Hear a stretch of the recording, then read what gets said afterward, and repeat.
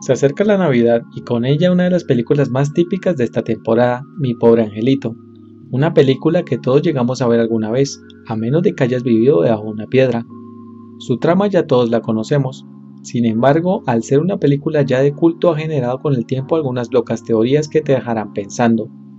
Y una de esas locas teorías te la traje hoy. Así que no me enredo más y empecemos.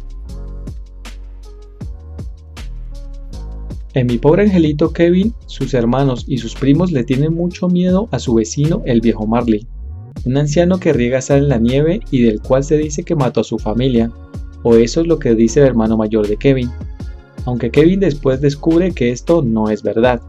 Pero según un usuario de Reddit asegura que Marley es en realidad Kevin del futuro, que regresa para alterar la infancia trágica que tuvo. De acuerdo a la teoría, es por esto que Marley salva a Kevin de ser asesinado por los bandidos en el final, permitiéndole reconciliarse con su familia, algo que Marley solo logra hacer cuando ya es un anciano.